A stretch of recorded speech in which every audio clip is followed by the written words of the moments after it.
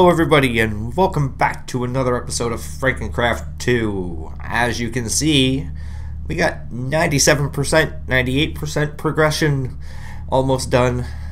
Oh, Soul Vial's done. But, but, look at this. An Enderman spawner. Oh yeah.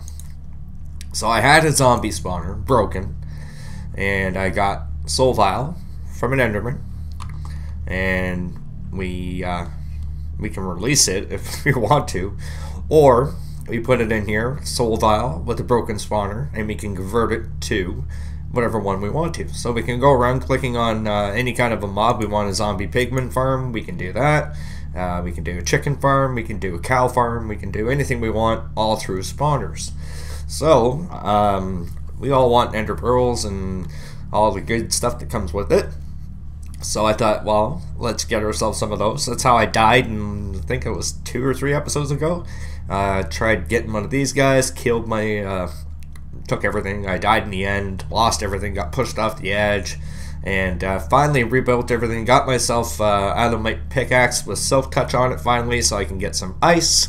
Uh, which is part of today's project. We're going to be building a little rink for my boys. Uh, I've got miniature red hearts that I'm going to be basically giving away now. Um, you can see here. Oh, I've got nine yellow ones and two red ones from fighting. What the hell is that? Oh, creeper heart. Uh, nine yellow, two red from fighting the uh, uh, do do do do do do do wither boss. You can see I got nine nether stars now. Uh, let's see the wither skull count. 46, and I owe all that to Sausage and um, Util on the server. They said if you upgrade the crap out of this, so Mignon one gives you 20% uh, chance. I think it gave you beheading to get. Went up to beheading 6. It gives you an 80% chance to get any kind of head. So creeper head, zombie head, stuff like that. Um, it's not the greatest for attacking. Still takes two hits to kill the skeleton, but you get its head every single time. So what I did is I went to the uh, farm I made in the nether and I took out the computer and I just started taking swings at him. And I had something like 18 left and I went in, uh, I got 50 by the time I left. I gave 6 to Andy on the server. Um, so now what we have to do is grab one of these guys and go right here. Uh, slightly damaged, slightly damaged. Let's use the, uh, wait, let's use this one. 30 levels. Alright. Supply with power to activate. Upgrade with capacitors to increase speed and energy storage. Uh, they're, they're glitched, by the way. There. It's not a duplication method. Alright, so now we have a powered Enderman spawner. I still have a witch spawner. Uh...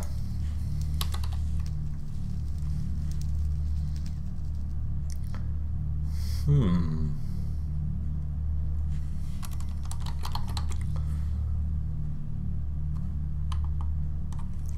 I did. I wonder if I left it over at one of the other uh, one of the other spots. Oh, I created one of these, a network tool as well. This is a handy little tool. Oop. Let me go over to it here. Click anywhere on the ME system. It doesn't matter where. It could be the low charger, could be, sorry, the charger, could be the wireless, could be anything. Just click. And what it will do is it tells you how much power is stored, what the max power is, and what you're using, and then what you're generating.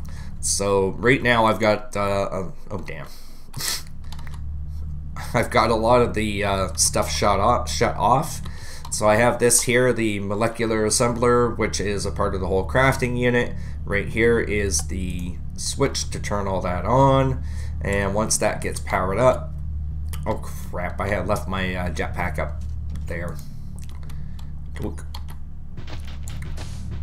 I have to, uh, I've been trying to put in some stairs for when I do this and I don't have my jetpack on me. Oop. There we go. Just a quick way to get back up. Let me put the trapdoor back too. There we go. Perfect. Let's hide that. Alright, so we go back to the network tool. You get an achievement for that too, by the way. Now it shows you 1657, what you're producing, and the cool thing is because I'm using the lava generator, it basically will match whatever power is actually being in there. The stored power won't really go up uh, because I don't have any batteries hooked up to it right now. I disconnected them all. I've got them charged, but um, I didn't see the point in trying to run it off a battery when I could just put power right into the energy acceptor. It's kind of the point to have it. Uh, so defeated the purpose of having a battery. But the cool thing is, is now that I'm going to be not using batteries, I can go around and grab any one of these batteries here that I want. Uh, this guy's full. So this also acts as a normal wrench. So what I could do is I could actually power this spawner and uh, we've got uh, Sausage and Util both did a ritual for the activation sigil.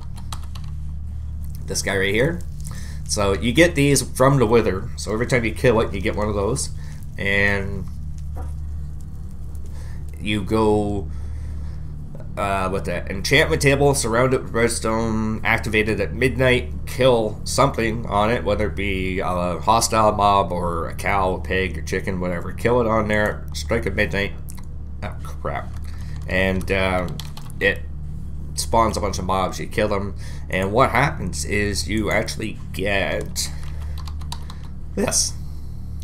Now I have to look a little bit more into it, but the cursed land, I believe, if you put it around a spawner, um, I don't know if you'd have to do it with a powered one because a powered one, I think you're basically just doing the whole purpose. Damn. Let me get my jetpack. There we go. Put this thing on before I jump out. Oh, and the other thing, I remade the um, armor again, put everything all back on, so now I'm back up. Uh, but the thing is, we have this stuff here, the amethyst, and that, I've looked into it, is the strongest armor. Okay, it may not be the most powerful in the sense of having add-ons and all the other crap, but it is the most powerful. So out of uh, scale, I think of 25 is the most you can do for armor. This goes to 36. So it is the strongest armor that you can get. But most OP, the one that has like flight and absorbs damage, um, feather falling, all that kind of stuff, doesn't have any of that.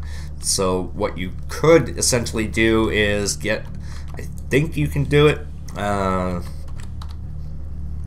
what I was thinking you could do is uh, they had an exosuit, which was in a previous version, but uh, doesn't look like it. What the exosuit was is like a skeleton, basically, and you could put other armor in it to absorb the damage.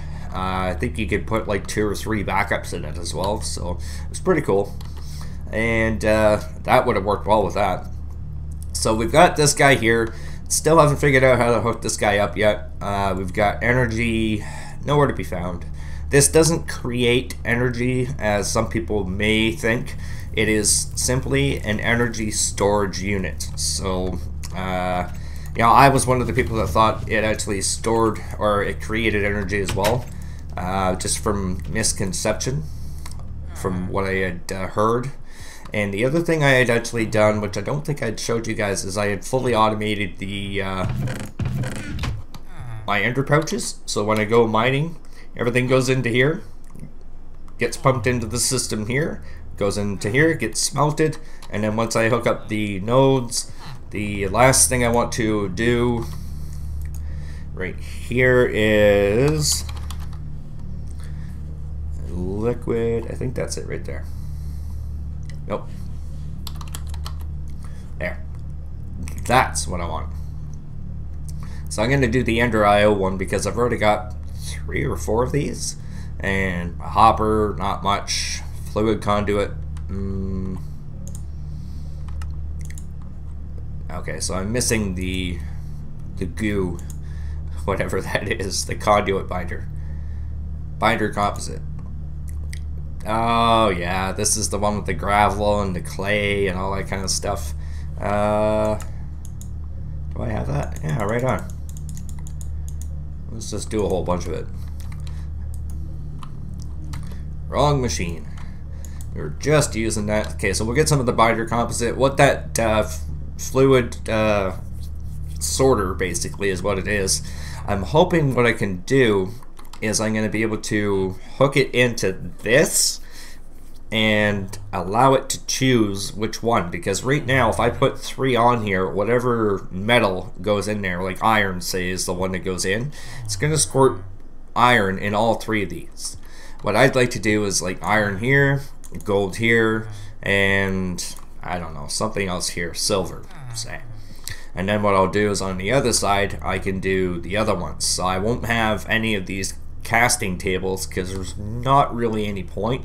I would just put more of the uh, casting basins there to make blocks and it would all get sucked back into the system and then put the other three more popular ones. So do lead, tin, and aluminum on this side, say. And I want this machine to be able to sort out. So it has uh, six sides to it. I should be able to sort six different liquids with it. At least that's the plan. Damn, this is going to make a ton of those binders, but I'm sure I'm going to be able to use them for something. Uh, you can see over here now, because of me playing with this machine, or not machine, but chest, I've got this for days and days and days. Let's throw in a few more pieces. I mean, it cooks it up so quick, and wow, unbelievable. Got its own crafting system there. I could do a whole bunch of glass panes if I wanted to. Um, so that's the plan here. I'm going to do the rest of this off camera. What the main goal was to not play with any of this and have a nice little light-hearted episode. I'm going to see, uh, let's see what kind of designs we have for fence. Because I'd like to do something that's uh, just a little bit different. Um, I wonder if we could do something like this here. Well, what the hell? Yeah, that's great. You showed me how to make a, a stupid spruce and birch fence, but separate, not together. I wonder if that's uh, like a chisel kind of thing. It says extra trees, though. Hmm. Yeah, what else we got here? Iron bars, ice. Ooh. Can we do that? Let's try our crafting out. Watch, it'll make an ice helmet. now it, uh... Oh, damn it. I want my ice back. Yeah, I don't think we can do the ice fence, but uh, I'd like to pick something that would complement it nice, either like, you know, do a pink or a, a white. See, and all this kind of stuff, I don't think we're going to be able to get into any of that because uh, we'd have to find a specific kind of wood. Uh, yeah, we could do an iron fence. Uh, that's by Natura.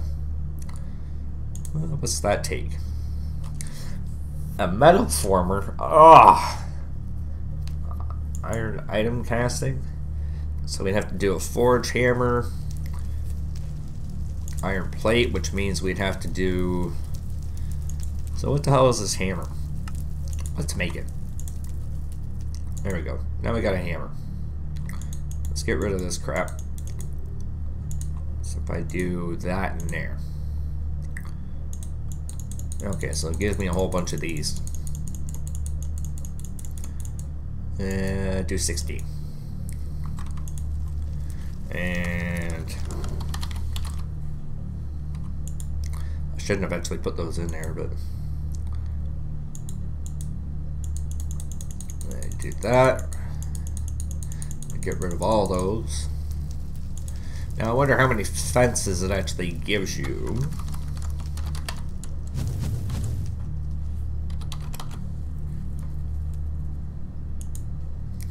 No, not that.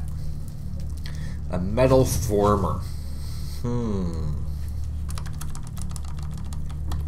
I'm sure Util probably has one of those. Hey, I got shiny ingots there. Yeah, it is. Industrial craft. That's a whole lot of crap. Let's go over to his place. Take our hammer just in case we need it. Alright. He's been uh, working really hard on the uh, IC2 stuff. So he's got like every machine known to man to do with that. Uh, see, extractor, furnace, macerator, canning machine, metal former. There we are. That's that guy. So that should turn it into a fence, I'm hoping. Give me four each. That'd be great. Alright, it gives me one. So we'll have 32 fences, which not going to be the biggest uh, fenced-in yard, but maybe we can combine some uh, like spruce wood or something like that, and even just some oak wood or something on the corners. Just uh, break it up a little bit and give it a little bit of flavor. Because I do want to have a nice little house for these guys, or not really a house, but a yard. Um, they're penguins for crying out loud. They deserve to have some ice. So let me finish this up, guys, and I will bring you back once I've got their yard built, and hopefully all of them where they should be. I'll see you in a few. Alright, so we're done. I got them no more in my lasso, but one more thing I wanted to show you guys is uh, I only have three left. I gave uh, two to Sausage so that he could have a couple pets. And down here, I made this guy. So we got a Fisher. Whoa. So if we go look in this nice, beautiful, clear chest, oh, wicked. Enchanted book, Unbreaking 3 Efficiency 3, tripwire hooks. Look at all these awesome fish. Raw herring, raw perch, raw catfish, tuna, salmon, bass, char, snapper, tilapia. Look at all this. Raw eel. Yeah. Looks kind of... Mm -hmm. Rotten flesh, raw mudfish. You know what, let's try the herring and... Uh, let's see what else we got two of. Char and tilapia. Let's give those a shot. I'm not sure if these guys only eat regular vanilla fish or what. But we will try. Will you eat that? No, I can. You won't. Damn. So these guys are only going to be able to eat raw, regular vanilla. Yep. Let's see. Go here. Do I even have any regular vanilla fish? I only have two. Alright, so these guys will throw all back. And as you can see here, I made the little uh, ice farm for them. Nice little fenced in area. I ended up using a silver bell wood to do the gate. They don't have an iron gate. It's kind of weird. Uh, but you guys can see you're hungry, aren't you? Make baby. Oh, look at that. it slides on the ice. That is awesome. I just wanted to do a fun little episode here. Uh, we've been doing a lot of really grindy stuff, and uh, I did go back to the end and uh, did a whole bunch of mining. I cleared out a ton of spots out there. Got another four and a half stacks of the um, what do you call it? Uh, draconium dust. So, because we're going to need a lot, and I still got to do more research to figure out what went wrong with that thing over there. Um, I thought it was something to do with the placement of the, whatever you call it, the energy core, the pylon, or whatever it was. And uh, apparently not, because I've got it placed properly according to the research I've already done. Uh, so I'm going to talk with a couple of the other guys on the server, see if we can't figure out what the deal was, and uh, maybe just a different perspective from somebody else might give me uh, you know, a fresh look at it and be like, oh, damn, it was something so simple. But uh, I think what I might do is try and extend this a little bit. You can't get out. Seems kind of mean, but they're my pet. Alright, so we got all our pearls planted should have almost two stacks, yeah. I think I lost a couple somewhere. I love this. Now they're at home. They've got themselves some ice. I think what I might try and do is um, get some snow as well and just kind of create like a small little snow biome around here. Put some snow on the tops of these and I had to go back and get a few extra pieces. I thought, you know what, I don't want mobs coming in here and killing these guys, so that would suck. Uh, but the only thing I want to try now is see if I can put some sort of a light up here uh, that won't melt the uh, snow. And I think what I might do, which I can do quickly right now, is uh, Certus. Oh, thing's not powered.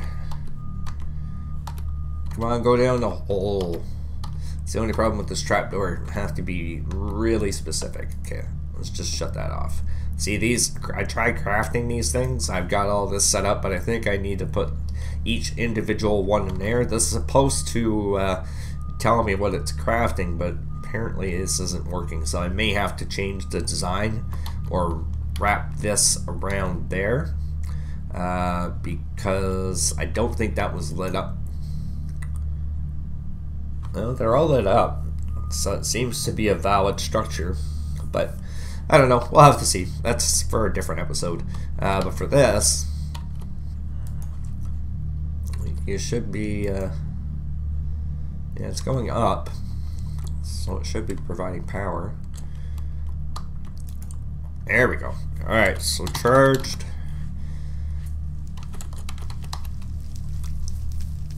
Okay.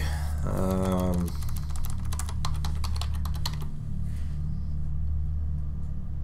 they have these little lights. Alright, let's look under applied energistics then. Right there. Light, nope, not that one. This guy. Get four of those. And the cool thing with these little guys is because it's um, made from charged quartz, uh, it doesn't need any power, needs nothing. You're just pretty much free to go. Am I in the way? There we go. Hopefully this won't melt anything. Uh, I did have a problem with that when I first started doing it here. Is uh, the ice melted because I had uh, a torch a couple blocks away and it was just just close enough to melt the ice. But I think we should be good, so this should light up and uh, prevent mobs from spawning. One thing that I'm probably going to get into with the um, Ender IO is they have, uh, let's see, can't remember the name exactly, it's an obelisk uh, aversion. This guy right here. But I need a tormented Ender Enderman head. That's not easy to get. I got the Soularium, and I've got the Energetic Alloy. Machine chassis is not hard to make. I could probably make three right now, so throw that in there. Why not? Um, so it's because you can see the Enderman. I've got seven uh, from when I was in the end with the beheading. So I gotta find a tormented one and try and get his head. Um, it's gonna turn out to be a little bit more of a challenge than I'd like it to be because what the aversion does where did it go? Ender IO right there. So what that does prevents mobs from spawning within its area of effect. So I'd like to just stick it out the front just for the sole fact of uh, wait a minute I can just make this? Are you kidding me? A basic capacitor, water bottle, Soularium. Alright. I know I got the ingredients for that. Oops. Grab two of those. These Soularium. Oh yeah, they don't stack in here. 15 of those. Eh, was it two or three? I think it was two, but the Enderman head, which I know I've got those, and I can't remember the last thing. Oh, the basic capacitor. And this is why I craft extra of everything. Because you just never know when or what or how you're going to make something. Um, Alright, so let's see how that goes into the whole setup there.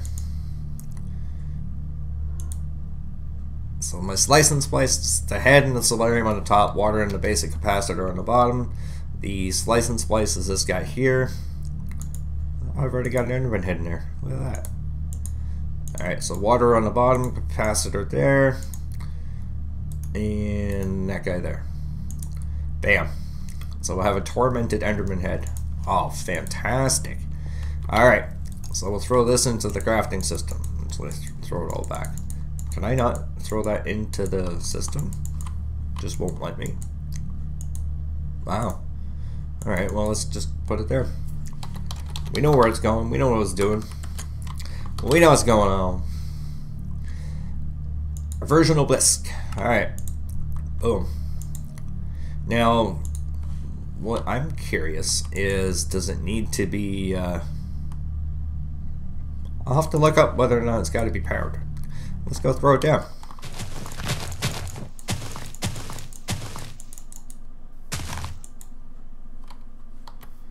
see, we want it to be kind of right in front of there. What the hell? Okay, it does need to be powered, sort of. Active without a signal. Oh, damn. That covers a pretty damn good range. Holy crap. Wow. Alright, I'm definitely going to get a capacitor for it.